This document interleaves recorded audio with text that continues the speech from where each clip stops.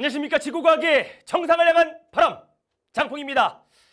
자 이제 곧 여름방학이 시작이 됩니다. 이번 여름방학은 바로 수능 전 마지막 방학. 우리가 지난 캐스트에서 장풍이가 언급한 것처럼 여름방학의 기간은 굉장히 짧습니다. 이런 짧은 여름방학의 시간을 어떻게 활용하는지가 매우 중요하다는 것 우리 풍마이들도 다 알고 계시지요. 자 이렇게 중요한 시점에서 우리가 6월 모의고사, 7월 모의고사를 보고 난 후에 내가 선택한 과학 과목에 대한 확신이 드는 학생들도 있을 것이고 생각만큼 등급이 잘 나오지 않아서 과연 내가 이 과목을 계속 끌고 가도 되는 걸까? 이런 혼란스러움에 가득한 학생들도 있을 것입니다. 자, 그래서 지금 혼란에 빠져 있는 이 학생들을 위해 장보이가 그 늪에서 건져내기 위해 캐스트를 찍어 보았습니다. 자, 수능이 약 120여일 남은 시점인데 이렇게 고민을 하면서 시간을 보내기에는 아, 남은 시간이 너무나도 부족하지요.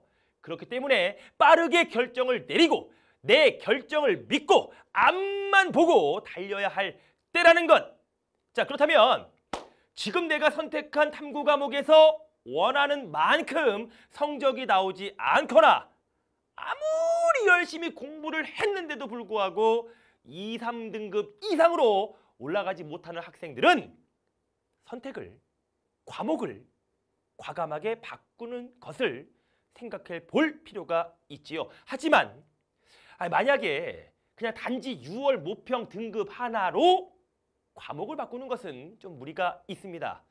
자 그렇다면 내가 과연 선택 과목을 바꿔야 할지 바꾼다면 어떤 과목으로 바꿔야 할지 한참 고민에 빠져 있는 우리 그런 풍만이들이 있다면 먼저 이 캐스트를 보고 결정을 내려보도록 하겠습니다. 자 제목이 지구과학 선택을 늦출 뿐인데 자 우선은요 장풍익은 수능 지구과학 선생입니다. 그래서 지구과학부터 한번 말씀을 드려본다면 우선 과학은 뭐 물리, 화학, 생명과학, 지구과학 등이 있습니다. 근데 가장 인기가 많은 과목은 바로 지구과학이지요. 왜냐하면 작년 수능에서 지구과학원을 어, 선택한 인원이 무려 68.1%로 가장 많았습니다.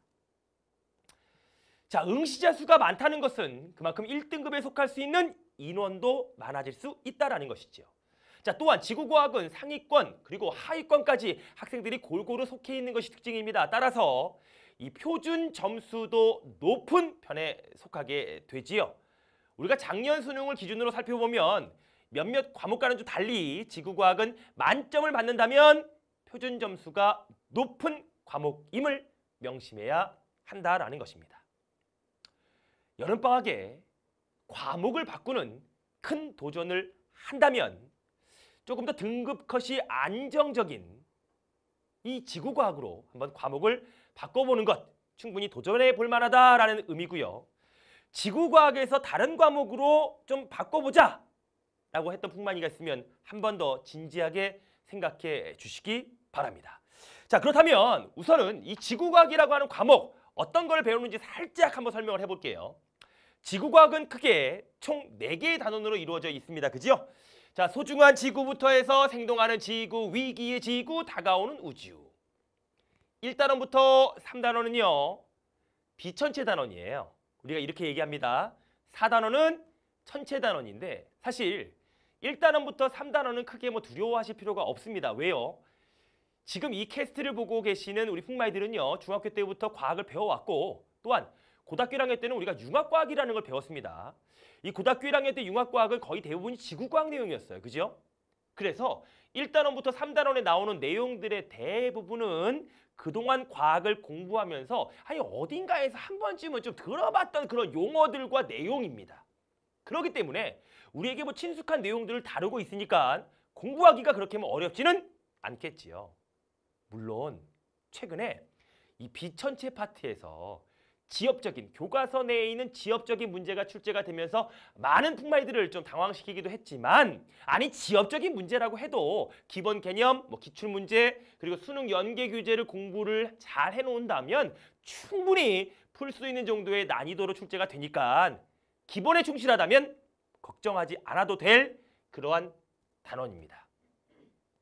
그리고 지구과학을 선택하게 선택할지 말지 그리고 또한 지구과학에서 다른 과목으로 한번 옮겨볼까 이런 고민에 빠지게 하는 가장 두려워하는 단원 사단원 천체가 있습니다. 이 부분 때문에 과연 여름방학에 지구과학을 시작해도 될까 하는 두려움이 있을 수 있지요. 하지만 우리가 소위 말하는 킬러 문항 지구과학에만 있는 것이 아니지요.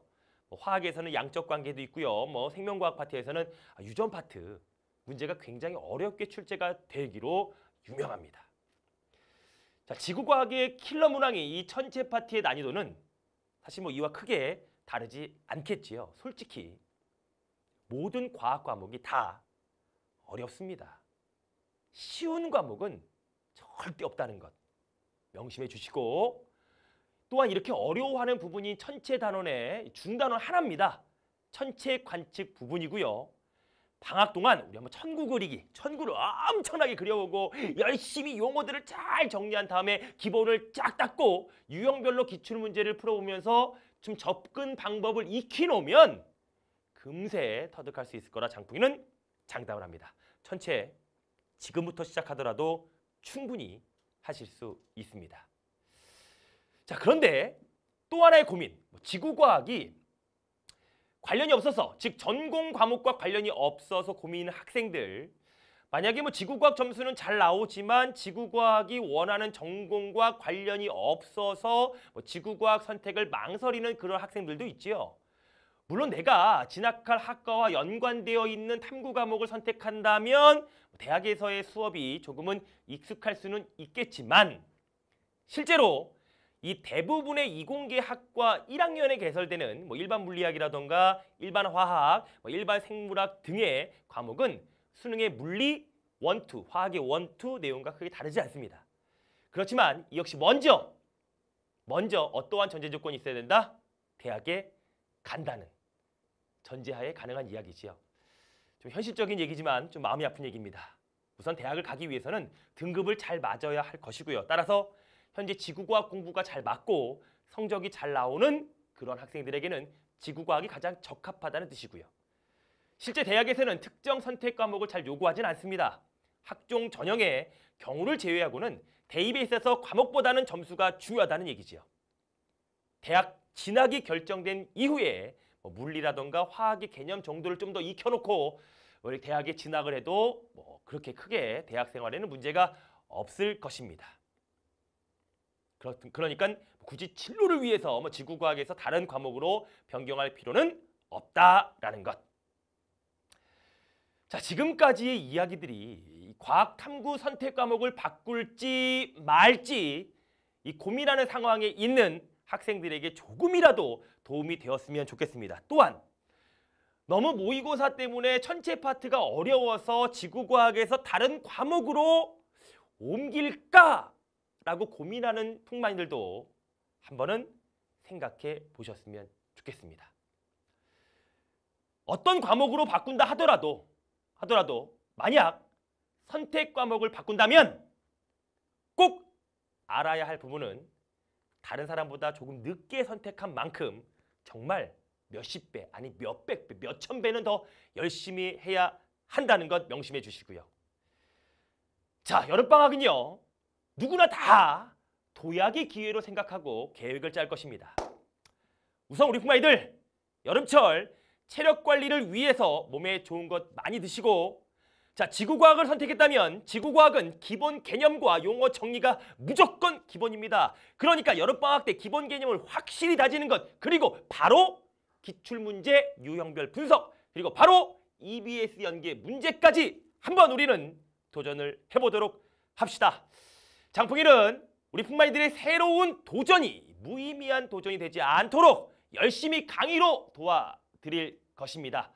그래서 공개 특강이라는 메가캐스트도 있고요. 여러분들이 좀 더 쉽게 문제를 접근할 수 있는 그런 다양한 강의로 여러분들과 같이 함께 해보도록 하겠습니다. 우리 북마이들 지금 현재 최선을 다해 주시기 바랍니다. 그래서 11월 14일 우리 후회 없는 선택이 되었다라는 것을 한번 증명해 주시기 바랍니다. 우리 국민들 여름철 건강 관리 잘 해주시고 우리 지치지 말고 끝까지 11월 14일을 위해 열심히 달려주시기 바랍니다. 힘냅시다. 지금까지 지구과학의 정상을 향한 바람 장풍이었습니다. 대단히 수고 많으셨습니다. 힘냅시다. 부마리 파이팅!